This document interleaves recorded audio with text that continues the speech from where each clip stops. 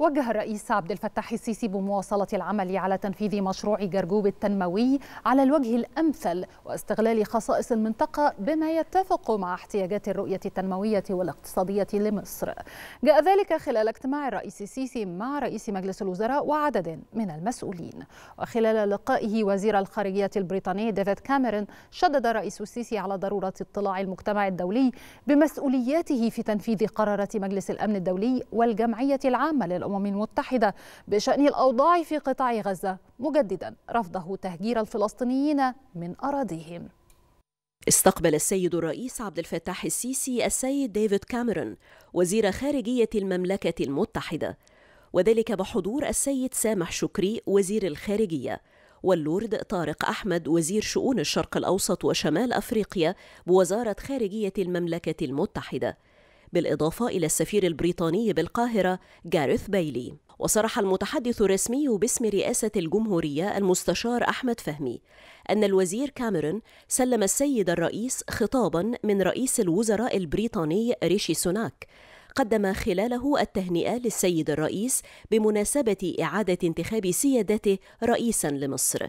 مؤكدا حرص بلاده على مواصلة تعزيز التعاون والتنسيق مع مصر في مختلف المجالات. وفي هذا السياق تطرق اللقاء إلى سبل تطوير العلاقات الثنائية بين البلدين حيث تم استعراض جهود التعاون القائم في جميع المجالات لا سيما على المستوى الاقتصادي وزيادة الاستثمارات المشتركة والتبادل التجاري بما يحقق مصالح الشعبين.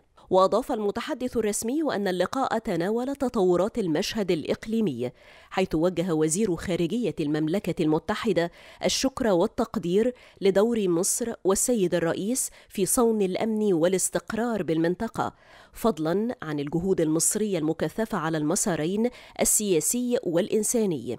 في إطار الأوضاع الراهنة في قطاع غزة. وفي هذا الصدد تم التوافق على ضرورة التوصل لوقف مستدام لإطلاق النار.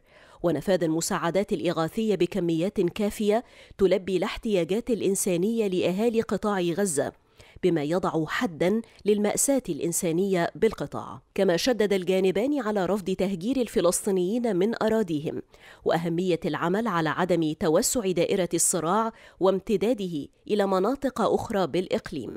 كما أكد السيد الرئيس ضرورة اطلاع المجتمع الدولي بمسؤولياته في تنفيذ قرارات مجلس الأمن الدولي والجمعية العامة للأمم المتحدة بشأن الأوضاع في قطاع غزة بالإضافة إلى العمل بجدية وتصميم على التسوية العادلة والشاملة للقضية الفلسطينية من خلال إنفاذ حل الدولتين. كما اجتمع السيد الرئيس عبد الفتاح السيسي مع الدكتور مصطفى مدبولي رئيس مجلس الوزراء. والفريق كامل الوزير وزير النقل والفريق أشرف عطوة قائد القوات البحرية والفريق أحمد الشاذلي رئيس هيئة الشؤون المالية للقوات المسلحة واللواء أحمد العزازي رئيس الهيئة الهندسية للقوات المسلحة. وقد اطلع السيد الرئيس خلال الاجتماع على تطورات عدد من المشروعات القومية التي تنفذها وزارة النقل وخاصة مشروع جرجوب التنموي.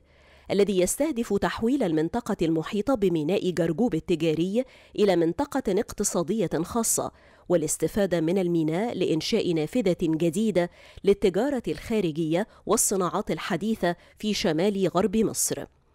حيث عرض السيد وزير النقل مكونات هذا المشروع التنموي الضخم الذي يستهدف استغلال مميزات المنطقة في إطار شامل يتضمن تطوير الميناء والتنمية العمرانية والصناعية للمناطق المحيطة به.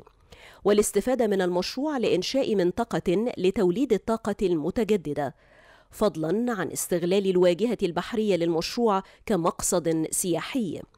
وذلك بهدف تنمية الصناعات الحديثة وتطوير الأوضاع الاقتصادية لسكان المنطقة ولإقليم مطروح بالكامل من خلال إنشاء منطقة مصانع ومركز للأعمال وأحياء سكنية وخدمية جديدة فضلا عن فنادق ومنتجعات سياحية.